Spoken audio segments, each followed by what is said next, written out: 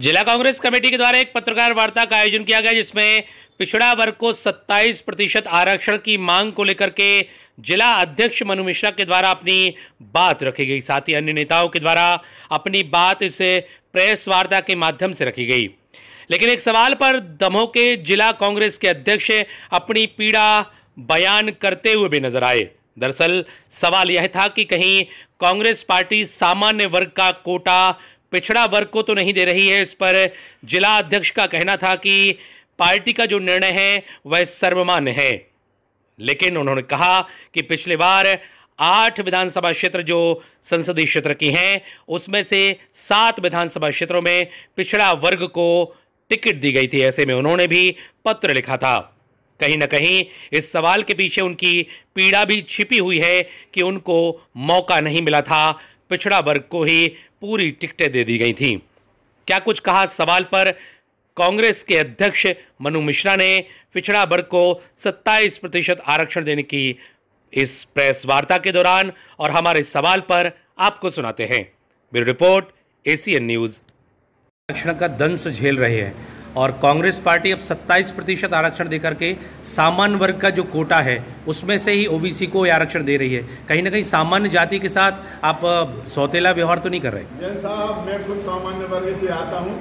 मैं आपकी पीड़ा समझता हूँ, परंतु जो निर्णय हाईकमान का या प्रदेश स्तर पर हमारी पार्टी लेती है, हम उसको फॉलो करते हैं।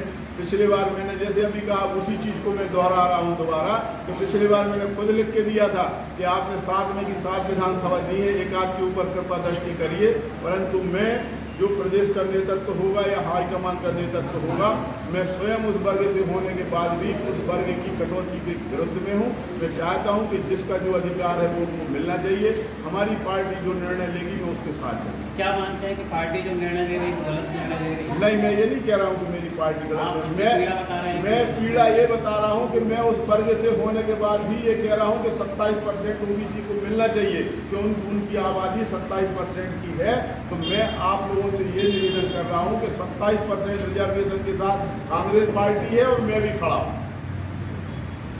आपकी टिकट कभी आई? भैया टिकट तो कई समय से कट रही है कभी आई तो दिक्कत नहीं है।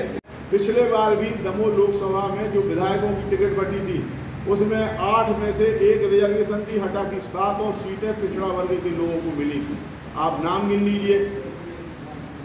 लीजिए। प्रताप सिंह यहाँ से राहुल सिंह जी वहाँ से अपना क्या नाम से, गौरव पटेल जी, फिर कमलेश साहू जी, हर्ष यादव जी, जो सातों सीटें हैं, उन कैंडिडेटों के आप निकाल लीजिए। एक भी सीट किसी दूसरे को नहीं मिली थी, सातों ओबीसी को। कांग्रेस ने तो उस समय भी दी थी। और लोकसभा के प्रत्याशी के रूप में प्रताप सिंह जी को उतारा था, वो भी ओबीसी के थे।